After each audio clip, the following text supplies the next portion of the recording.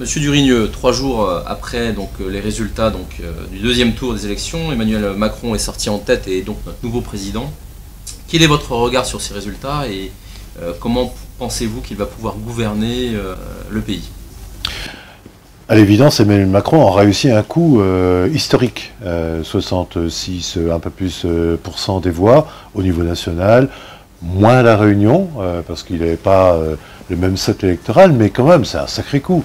Euh, il vient euh, de quasiment nulle part, euh, il n'est pas élu, il a été de deux ans maximum ministre de l'économie, et il fait irruption sur la scène politique, il crée un mouvement, c'est même pas un parti politique, un mouvement il y a un an, et le voilà qui, qui, est président de la République.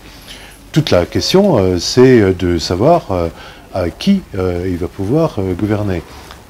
On voit bien, quand on a un gros score comme ça, bah, ça attire euh, les, bonnes volontés ou, les moins bonnes volontés d'ailleurs euh, politiques. Euh, il y a des ralliements, il y a des hommes politiques, des femmes politiques qui toquent à la porte de chez Macron.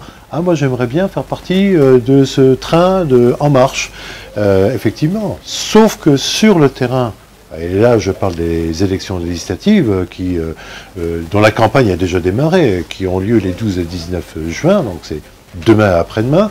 Euh, là, ça va être une autre paire de manches parce qu'il va falloir composer avec le Parti socialiste, il va falloir composer avec une partie des républicains sans doute, et ça va être quand même un petit peu de la cuisine électorale. Et là, Emmanuel Macron se retrouve face aux difficultés classiques de la politique euh, qui est faite de beaucoup de compromis.